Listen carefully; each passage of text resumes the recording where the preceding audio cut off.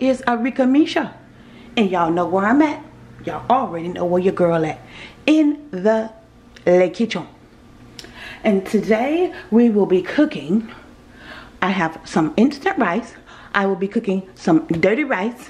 That's right. That's what we call it. Dirty rice. That rice gonna be so dirty. Ooh, my rice be dirty rice. Mm, mm, mm. Wait till y'all see it. All right, we got the cheese here. We got the noodles here. Y'all know that means we're going to be cooking some macaroni and cheese. I've been craving my macaroni and cheese. So I said, you know what? I'm going to go ahead and cook that. All right, and we got some Publix elbow macaroni uh, noodles. We got the Marchetta Sargento cheese. Some really good cheese, by the way. I love Sargento cheese. Um, and we got the Sweet Baby Ray's Hickory Brown Sugar Barbecue Sauce. The Sweet Baby Ray's. Yes. You know what? Kraft has a really good barbecue sauce too. Don't get it twisted now. Kraft's on is really, really good. But uh, Sweet Baby Ray's, definitely my number one pick. All right, and the start of the show, we are going to have, for our meat, we are going to have a barbecue grilled steak. Yes. Ooh, y'all know I'm bringing it in. It's been marinating all night long. Oh, it's gonna be so good. I'm a, y'all gonna see how I'm gonna cook it. I ain't even gonna tell y'all. But yes, I was in the mood for a nice grilled steak and some barbecue sauce with my macaroni and cheese and my dirty rice. I ain't say dirty. I said dirty. Dirty rice. That's spelled D-U-D-Y. Dirty. That's a filthy right. The devil is a lie. All right, y'all. Let go. Okay, so the first thing I want to do is I want to go ahead and get my steak in the oven. I've got my Gotham pan. Y'all already know I love me some Gotham. They have really good cookware. Y'all know this ain't sponsored. I'm just letting y'all know. And if y'all have watched my previous videos, Gotham, it's Gotham for me. I like their cookware. Spraying my pan with my old faithful canola uh, Publix cooking spray. Uh, let me put that out the way. And uh, I'm just gonna go ahead. Wait a minute, I gotta take a picture for the gram. Hold on, y'all. I gotta get my phone. Where is my phone? Lord. I'll hold on.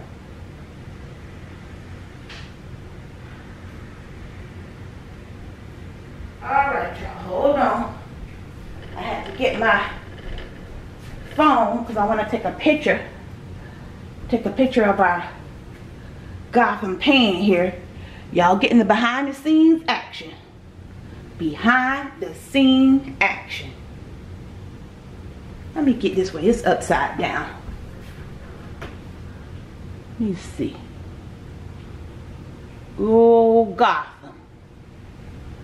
Come on, bring the gold. Okay. I'm telling y'all. Y'all getting these Instagram pictures be a hot mess sometimes. Alright, so we got that picture, okay. I just need that picture for Instagram. So, alright, so let's get our steak laid out. And these are some really big steaks that I got, y'all. Look at these steaks. Nice. And I already tenderized my steak to death. I don't like tough steak, so I done tenderized my steak to death, I'm telling y'all. I tenderized this steak so much it's already falling apart. So, I'm just to lay it in my big giant Gotham pan because these are some really huge steaks, as y'all can see. Really huge. So, and my little leftover goodness down in there, we're to add a little water.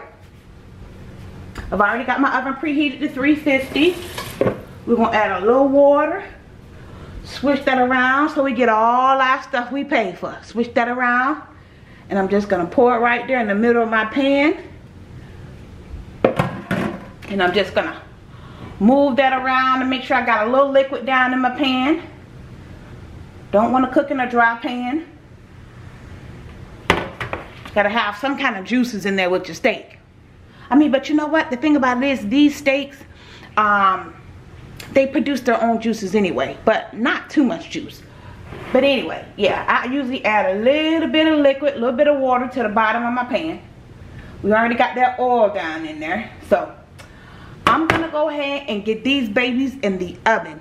Um, I'm gonna see how long it takes because these are really thick steaks. So there is no time. You just gotta see how, you know, your steak cook up. So let me get these in the oven. I'm gonna set my timer for about 15 minutes and see how that do. All right, y'all, I'll be back. Moving on to, I think I'm gonna move on to the dirty rice or the mac and cheese. We'll figure it out, y'all. I'll be back. Okay, guys, moving on to our dirty rice. Okay, as you can see, I've got my beef all cooked up. Let me cut my heat down a little bit. I've got my beef all cooked up.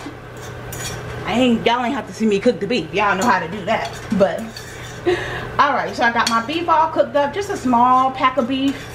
Um, just depends on how much meat you want in your dirty rice. I like more rice than meat. Um, so I just did a little small pack of beef. And as you guys can see, I've got it all cooked up, all nice and browned up. Now, for my seasons, however you want your, however you like your dirty rice. Me, I like my dirty rice with a little spice. Uh, so we've got some roasted garlic herb. Make sure y'all can see that. That's the Weber roasted garlic herb. Just sprinkling a little bit of that in there. Just a little bit of that in there. Uh, I'd say, I don't know, for measurement, I'm putting some ground black pepper in here. Uh, let me see. I think that's about a tablespoon of each. We got our ground salt. Not too much salt. We don't want it salty. We don't want too much. Just a little bit of salt. And the main thing is our Weber New Orleans Cajun seasoning. Make sure y'all can see that. New Orleans Cajun seasoning. There it is. Yep. Get this open. I just got this the other day from Publix. If y'all saw my Publix haul. Alright. This is the main thing. So, alright. Let's get some of that in there. I'm to sprinkle a little bit in there. And then I'm to get everything all mixed up. And I'm to taste it and see how it tastes. As you can see, I did not drain my beef. I did not drain the oil from my beef. No, baby. You got to keep that for the dirty rice. Hey, I'm just talking about how I cook my dirty rice. Ain't talking about nobody else. Ain't talking about nobody else now. I'm just showing y'all how I cook my dirty rice. Everybody cook how they cook now. So, I'm just showing y'all how I cook my dirty rice. So, alright. Do a little seasons, couple seasons in there. That star is that Cajun season because I like a little spice.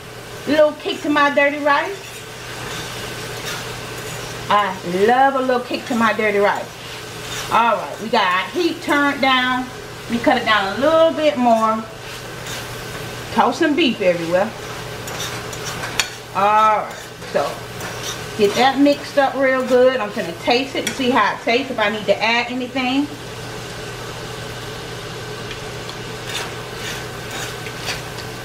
Okay. Yeah, I need to add a little bit more of the Cajun. A little bit more, make it a little bit more spicy. Make sure y'all can see. Okay, yeah, we need a little bit more of that. And we need a little bit more garlic herb. A little bit more of that. Okay. Alright, so. Let's get it mixed up. Cook my seasons right in the meat. So your meat all nice and seasoned. Get that mixed up. Oh yeah. And remember, I leave my um, juice from my meat. I do not drain the oil, the um, the oil from my beef. Now normally I would, but when I'm cooking dirty rice, I don't. I keep it. I keep my oil from the beef when I'm cooking dirty rice. You'll see why. You'll see why I keep it. Alright, let's see. Let's see how we tasting now. Oh yeah, that's good. Oh, that's perfect.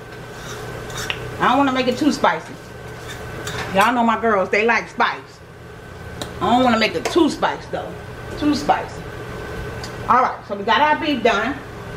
let me move y'all over to the rice. The rice is over here waiting. Got a little beef. I gotta clean my stove up. Y'all know.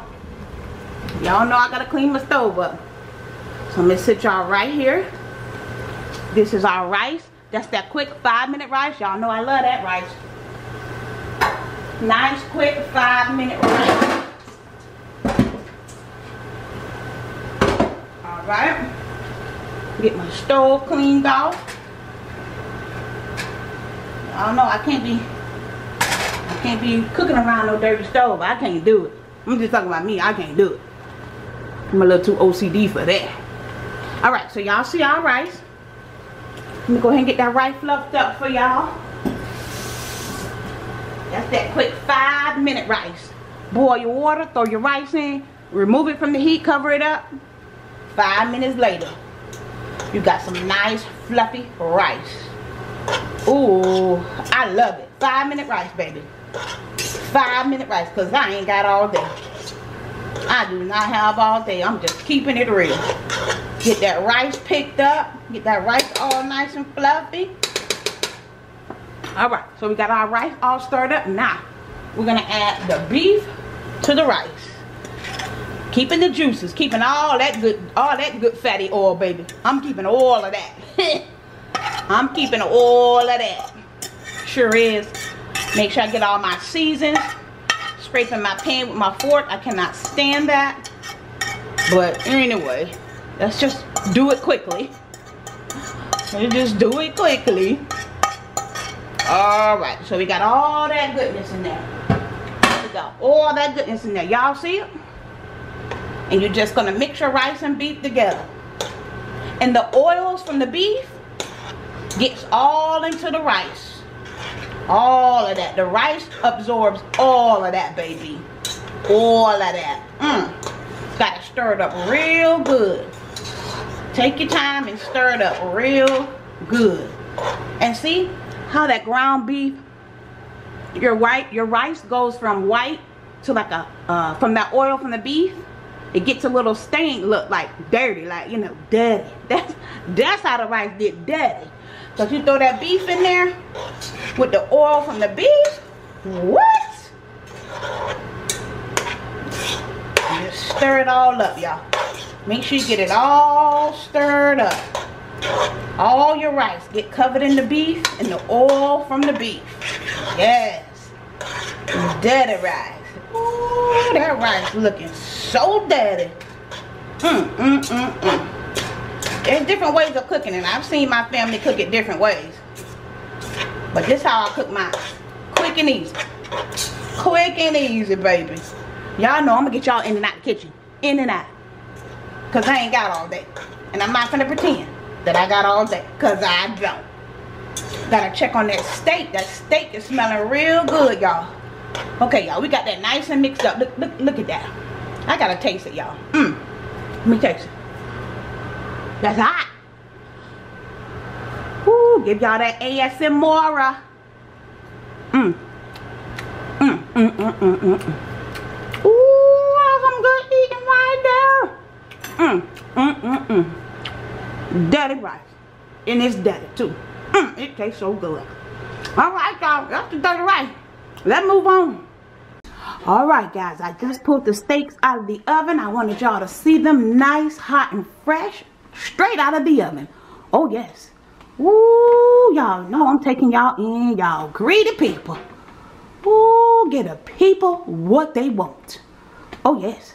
I'm taking y'all in. Y'all got to see. Y'all got to see the goodness. Mm-mm-mm. Yep. Cook for about 20 minutes. I cooked them on one side for 10 minutes, flipped them over, and let them cook for the other 10 minutes. 20 minutes because you know they're a thicker steak. Steaks usually don't take that long, but y'all see these thick steaks. I just wanted to come and show y'all just in case I forget to show y'all or just in case I come back and y'all see half of the steak missing. That means I ate it, but I just wanted to come show y'all the steaks before anything happened to the steaks. So, alright y'all. Just wanted to come and give y'all a good look at those steaks. Ooh, ooh, ooh, ooh. I'm gonna put some barbecue sauce on y'all. Y'all will see the grand finale. Y'all will see the grand finale. I just did the dirty rice, showed y'all that. Let's move on to this mac and cheese. All right, y'all, let's move on. Let's keep it moving. Let's get the mac and cheese done. Just showing y'all a little quick way to do your mac and cheese. You know, I do my mac and cheese so many ways. I mean, there's so many ways of fixing mac and cheese. So, uh, so I'm just showing y'all one of my quick, easy ways. Y'all know how I do. I'm gonna get you in and out. So, all right, so we got, got our noodles here. I'm gonna do like a nice spoonful of butter. I don't want to do too much butter. I don't want to do too much. Too much butter makes it oily. I don't want to do too much. Because you know butter ain't nothing but oil. So I got that butter in there. I want them noodles to go ahead and melt that butter on up for me. Get that mixed up. I like working with my noodles when they're hot. You know, they're nice and hot. So they're going to go ahead and melt that butter down for me. Stir that up. Make sure y'all can see. All right, we're gonna stir that on up. That butter gonna get them noodles all nice and loosened up. All right. I've made mac and cheese on my channel before, but y'all know me. I'm gonna just keep filming what I cook. So sometimes I may cook something over again. Oh well. All right. So yeah, getting that butter all mixed up in there, all mixed up. Mm-mm-mm. Yep, see the, the heat from the noodles melts the butter right on up. Alright, so I want to make sure I get my butter all mixed in real good.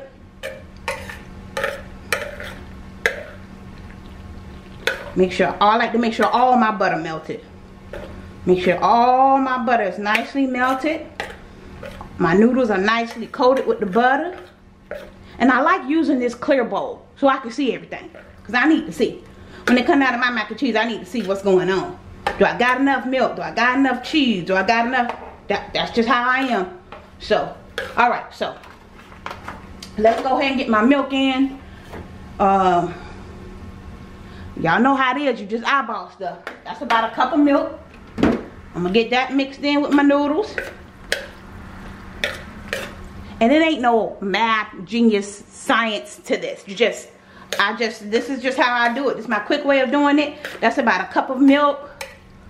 Put it in any order you want, child. Want to do the eggs first? You want to do, child, just put your stuff in there. That's just how I do it. So, got my egg. One egg, I'm doing two eggs, y'all. Two eggs. This is this isn't a big pan of mac and cheese. I mean, it's a medium pan of mac and cheese, but it's not a huge pan of mac and cheese. So, two eggs is good enough. You know, eggs is what holds your mac and cheese together. You need your eggs. Your eggs is what holds that mac and cheese together. But you know, we don't want it to be too together because you know, we need that cheese. Make it all creamy and melty. So, I just put two eggs. This is a nice, um, make sure y'all can see. Okay, yeah, this is going to be a nice little medium pan of uh, mac and cheese. Okay, so, looks like I got enough milk in there. Let me see. Finish getting them eggs stirred in there. All right, so let's add our cheese. Remember, I've got three bags of shredded Sargento cheese. Oh, yes, baby. Let's get these two stirred in. Oh, yes, baby, because we like we like cheesy mac and cheese. Don't give me a whole bunch of noodles and a little bit of cheese. Mm -mm. We like our mac and cheese cheesy. Cheesy, baby. Cheesy. Mac and cheese. Don't be giving me all them noodles. Mm-mm, baby. We got to have the cheese. We got to have cheese. Stop playing. A little bit of noodle, little bit of cheese and all them noodles. Uh-uh. No, baby. I need the cheese. We need the cheese. We need the cheese. Just mixing that all in, y'all. Ooh, they look good. Make sure y'all can see. Ooh, y'all see it. Mixing it all in. Nothing serious, nothing special. Just my little quick mac and cheese. My little quick mac and cheese. All right, now let me get my little salt, little pepper. Just a little salt, little pepper. What we got? Got my ground pepper. Little pepper in there. All right. My little ground salt. All right. Salt and pepper. And you know, You want to fancy it all up and do all that other stuff, other seasons, that's fine. I do that sometimes too. But today we doing a nice quick mac and cheese today. Little salt, little pepper, baby. That's all we got time for today. Little salt, little pepper. Little salt, little pepper. You can add your little paprikas and all the rest of them. The paprikas and the lashikas and the babikas and all them other ones. Y'all can add all that. It's just a simple, quick mac and cheese and it tastes delicious. Tastes delicious. I believe sometimes the, my girls like the quick mac and cheese uh, better than the ones that take me a little longer to make. But hey, it don't matter. Alright, so we see how we got that all mixed up. Make sure we get our salt and pepper all mixed up. Want to make sure you get everything mixed up. Alright, I'm going to add that third bag of cheese. Yes, I am. Cheesy, baby. Cheesy. And I'm going to add a little bit more milk. Just a little bit more. Just a little bit. That's, that's about half a cup. It's about half a cup. Don't add too much milk now. Don't add too much milk. You put too much milk, you're going to see it. You're going to know you put too much milk in there. Been there and done that. You're going to know. So don't put too much. Don't put too much. All right, y'all. I don't want this to be a long video. It's already looking long as it is. So, all right. I'm going to finish mixing this up. I'm going to pan this up. Put it in the oven for about a good 25 to 30 minutes on 350 degrees. I'm not covering my mac and cheese. I don't cover my mac and cheese. Sometimes I do, sometimes I don't. But today, we not, baby. All right, I'll be back, and I'll be back to show y'all the grand finale. All right, here's our grand finale. I just took that mac and cheese fresh out the oven. It's nice and hot. Y'all know I'm taking y'all in to the macaroni and cheese. Mm -mm -mm taking y'all right into it, still bubbling. That's that quick macaroni and cheese, honey. And it takes like and it tastes like you cooked it. You've been fixing it all day. Like you've been prepping it all day. Yes.